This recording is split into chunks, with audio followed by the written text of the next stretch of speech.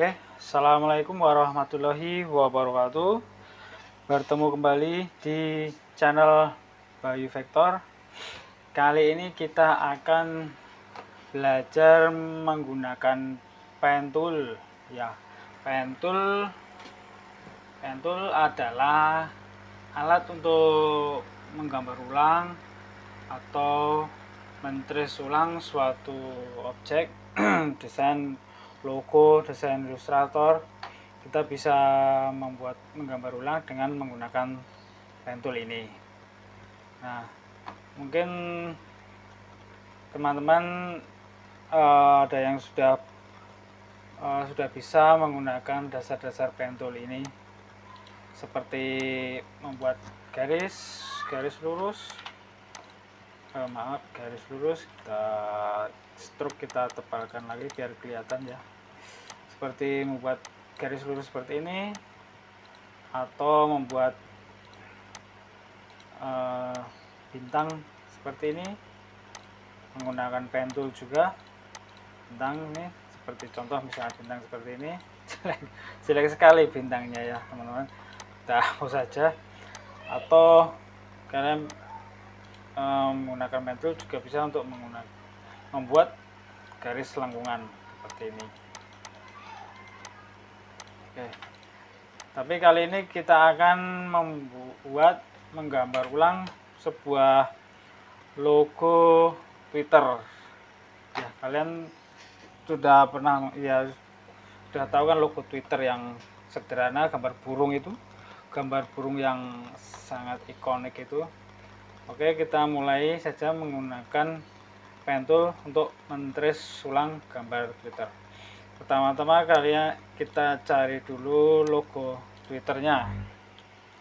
Logo Twitter. Kita enter. Oke, nah kita pilih yang warna biru. Oke, yang ini aja yang kita copy kemudian kita paste lagi kita paste. Perbesar sedikit ya biar kelihatan. Oke kita akan mulai membuat ulang menggambar ulang logo twitter ini. Pertama-tama kita kunci atau gembok dulu layarnya biar burungnya tidak lari-lari ke mana-mana ya teman-teman. Kita lari. Kita buat layer baru di atasnya di sini. Nah kemudian kalian teman-teman bisa uh, pilih logo ikon pen tool di sini atau tekan di keyboard tombol P. Nah, nah ini kita mulai dulu di titik awal. Kalian bisa pilih di mana aja kita misalnya kita pilih uh, seperti ini.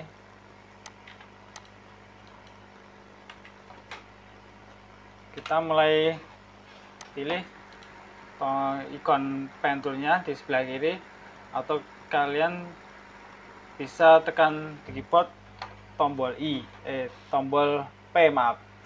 Tombol P uh, kita garisnya kita buat warna apa ya warna merah warna merah aja biar kelihatan. Ini fillnya fillnya di kosongnya aja. Eh maaf. Filenya dikosongi ini stroke kita pilih yang cap cap yang round corner dia juga round juga. Ini yang stroke ketebalan stroke kita buat 4 aja gitu ya. Kalau 5 mungkin ketebalan 4 enggak terlalu tipis juga nah kita mulai aja. Kita klik di pojok sini. Ini titik awal. Kita klik mengikuti setiap pojok-pojok logo Twitter ini. Kita ikuti aja klik setiap sudut. Kita klik sudut ini juga ada sudut. Eh, sudut. Sudut. Nah, klik semuanya nah kita kemudian klik di awal tadi. Nah kalau di awal ini keluar ada lingkaran kecil berarti itu sudah tertutup. Itu maksudnya gambarnya ini tertutup tidak ada uh, yang terbuka. Oke. Okay. dan kita klik P selection tool. Nah ini ya ini belum selesai ya teman-teman. Nah kemudian kita klik selection tool. Kemudian gimana caranya biar kita bisa membentuk lagi lengkungan-lengkungan ini? Nah teman-teman klik lagi pen toolnya atau tekan tombol P di keyboard.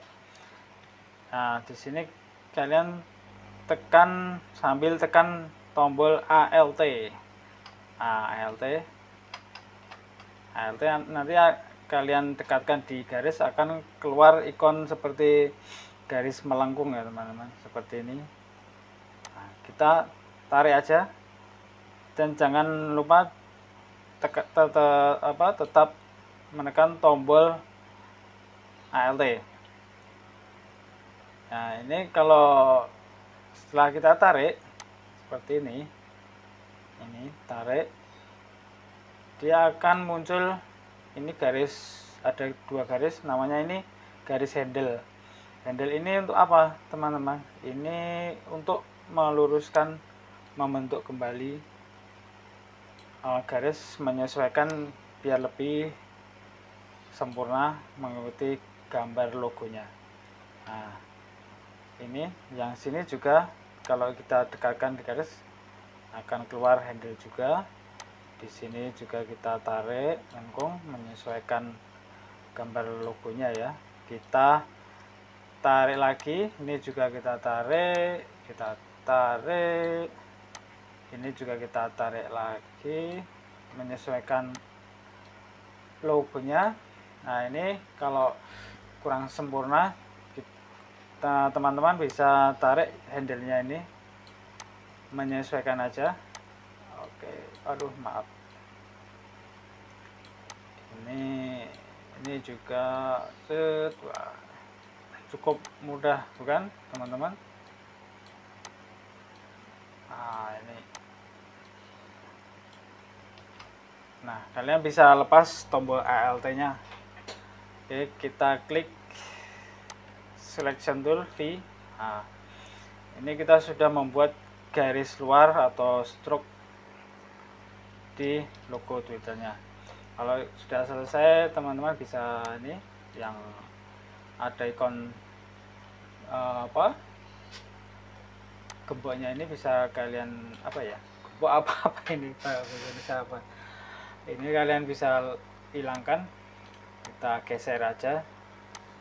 Geser di sini. Oke. Oke. Nah kemudian kita akan mewarnai logo ini sesuai warna asli logo Twitter.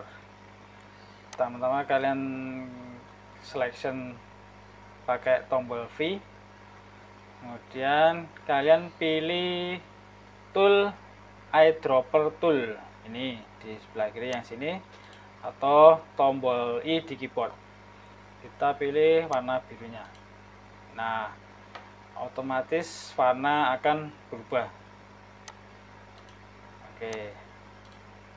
Nah logo Twitter sudah jadi. Kita bisa hapus yang ini. Oke teman-teman. Demikian uh, belajar kita kali ini tentang caranya menggunakan pen tool untuk menggambar ulang atau menulis ulang logo sederhana logo Twitter ini. Baik, terima kasih.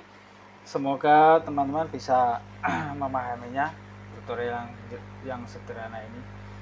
Uh, kalau ada pertanyaan atau teman-teman kurang paham, bisa tulis di komentar di bawah. Oke, terima kasih sudah menonton. Kalau bermanfaat, kalian bisa tekan tombol share dan jangan lupa like dan subscribe-nya. Bertemu kembali di video Adobe Illustrator tutorial berikutnya.